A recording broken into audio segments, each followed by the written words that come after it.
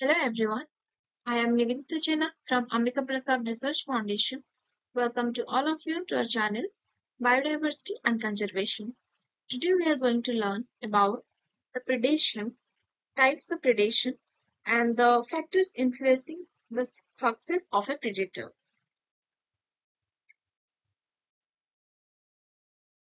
So what is predation? The term predation is used to describe an interaction between populations in which one organism, the predator, feeds on its prey. Typically, the predator catches, kills, and eats its prey, but predation is sometimes also used to describe feeding by insectivorous plants and even grazing by herbivores. The term predation is however more commonly associated with the idea of the strong attacking the weak like the tiger pouncing on the deer, the hawk on sparrow, the frog on insects, and the snake on mouse, etc. In natural communities, predation is a step in the transfer of energy. It is a negative interaction which results in negative effects on the growth and survival of one of the two species population. From the viewpoint of community ecology, predation is important in very many ways and has definitive roles to play in food coactions, productivity, and regulation of population size. Predators, for example, may help increase the biodiversity of communities by preventing a single species from becoming dominant. Such predators are known as keystone species and may have a profound influence on the balance of organisms in a particular ecosystem. Introduction or removal of this predator or changes in its population density can have drastic cascading effects on the equilibrium of many other populations in the ecosystem.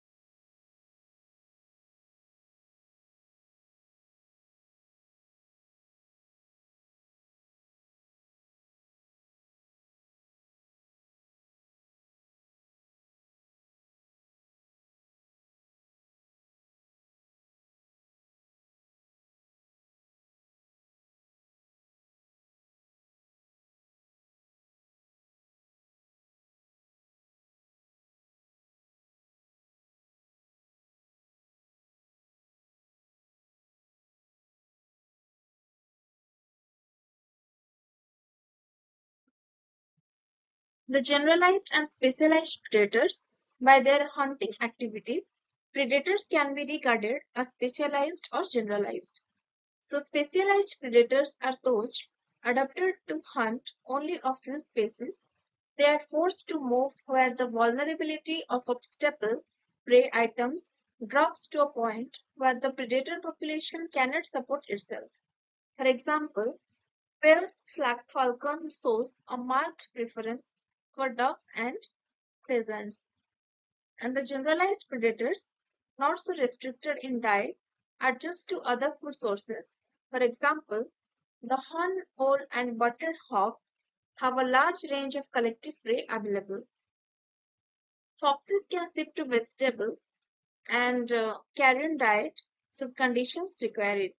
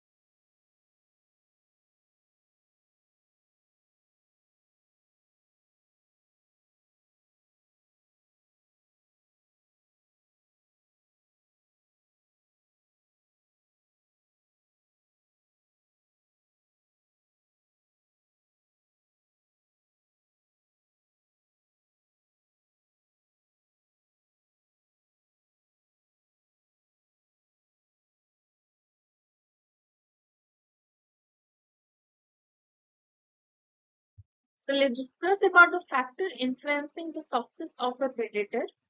The act of predation can be broken down into a maximum of four stages detection of prey, attack, capture, and finally consumption. While successful predation results in a gain of energy, hunting invariably involves energetic cost as well. When hunger is not an issue, most predators will generally not seek to attack prey since the cost outweigh the benefits. The factors which influence the success of a predator are listed like hunting ability and success of predator involve the development of a searching image on the part uh, of the predator. Once it has secured a palatable item of prey, the predator finds it uh, progressively easier to find others of the same kind. The searching rate of predator is influenced by the speed of the predator relative to the speed and escape reactions of the prey to the distance at which the predator first notices and attacks the prey and to the proportion of attacks that result in successful capture. Habitat preference or overlapping territories can bring predator and prey close to contact, increasing prey risk.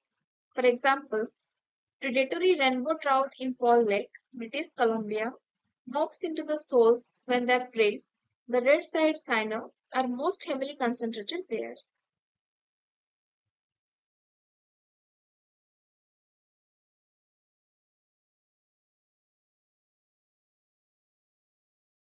Then the factors influencing prey risk, like the predators, the prey its defensive specializations. The prey risk is influenced by some factors like density of prey population, availability of food and protective cover, movement activity habits of the prey, and size, age, strength, and escape reaction of prey.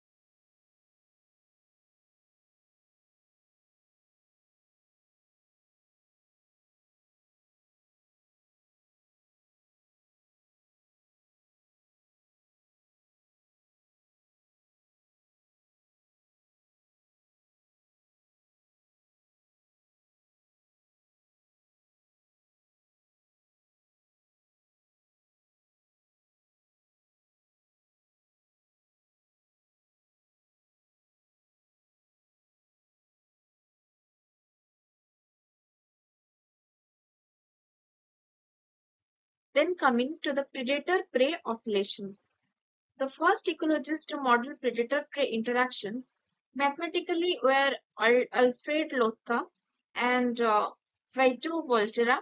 Both researchers built their models based on observations of interactions among natural populations. Lotka was impressed by the reciprocal oscillations of populations of moth and butterfly larvae and the parasitoids that attack them. Volterra was inspired by the response of marine fish populations to cessation of fishing during World War I, and Volterra observed that the response of fish populations was uneven. Predaceous fish, particularly sharks, increased in abundance, while the populations upon which they feed decreased. This reciprocal change in numbers suggested that predators have the potential to reduce the abundance of their prey. In this single observation, Volterra somehow saw the potential for predator-prey population cycles and suggested that similar cycles should occur in parasite host and pathogen host systems, including those in which humans are involved. With these observations in mind, Lotka and Volterra then set out to build mathematical models that would produce the cycles that they thought occurred in nature. And uh, they wrote a simple pair of predation equations like dn1 divided by dt is equal to r1 n1 minus p1 n1 n2 and the same for the n2 where n1 is pre-population density, n2 is population density of the predator, r1 is the instantaneous rate of increase of the prey population per head, d2 is the death rate of the predator population, p1 and p2 are predation constants, p1 n1 represents the functional response describing the consumption response of individual predators to changes in prey density, a constant in these simple equations. And the P2N1 represents the numerical response describing the way in which prey are converted into new predator individuals. Thank you.